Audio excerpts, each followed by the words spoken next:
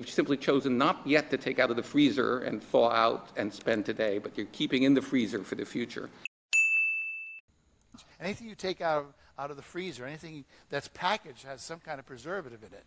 And we don't spend enough time cooking fresh foods for our kids.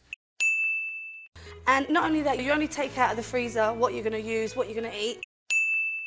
I have here one pound of fresh mozzarella that I put in the freezer for 15 minutes before thinly slicing, five eggs, three cups of whole milk, one teaspoon kosher salt, one teaspoon oregano, quarter teaspoon of garlic powder, two ounces of finely grated parmesan, and a dozen black olives thinly sliced. You can make about a dozen stubbies in five minutes or so to put in the freezer and have them on demand as you need them.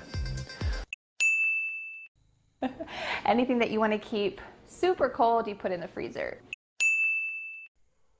For example, you ask your partner to load the dishwasher because you're about to take a work call. And after said call, you go to unload the dishwasher only to find that it hadn't been turned on because you only told them to load it or there's no dishwasher tablet in there because they didn't know where to find them.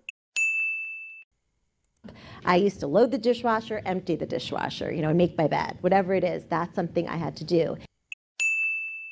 Do you have a dishwasher? You're pretty lucky you can load the dishwasher. You can load the dishwasher, and when it's done, you can unload the dishwasher. Unload the dishwasher. The dishwasher sterilizes the dishes. The dishwasher sterilizes the dishes.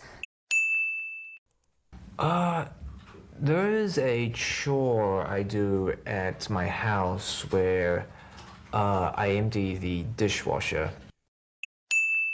I mindfully empty the dishwasher, wash the dishes, clean the kitchen a bit, and make my morning cup of offie with the AeroPress.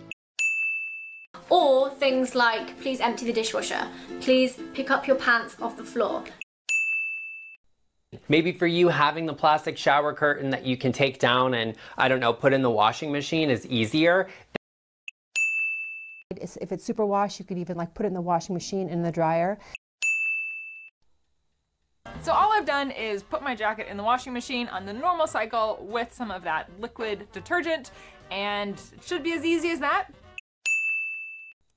I will, but can you do the laundry? The washing machine is empty, so we'll be able to wash the pillowcases, the sheets, and the comforter. Now we can begin to cook or perform a quick workspace sanitation, cover with plastic wrap, put in the fridge, and cook tomorrow when everything's ready to dump and go. Now I'm using that all important brown whole grain rice, which I've pre-cooked and put in the fridge. It shouldn't matter what you put in the fridge, it should just do it. And then you have about four to five cups of almond milk, and that will keep in the fridge for a few days. And this you can keep in the fridge in a jar and sprinkle over your salads, your grains, your soups. It makes everything taste better. Yeah, if you're in a pinch, it's good to have one around. It'll yeah. keep in the fridge for a month. Now we'll cover these and let them chill in the fridge while we prepare our matcha ice cream filling. I always love making deviled eggs because first of all, they can chill in the fridge. We're going to let that chill in the fridge before we lengthen it into the full-size tail. You could cut a slice of bread and put it in the toaster and the bread will have some brown marks on it and it will be warm and toasty. You can take a slice of bread, put it in the toaster. Believe it or not, toaster. Take a raw piece of garlic and just rub it over the toasted bread, and you're going to have a garlic bread, and it's going to be phenomenal.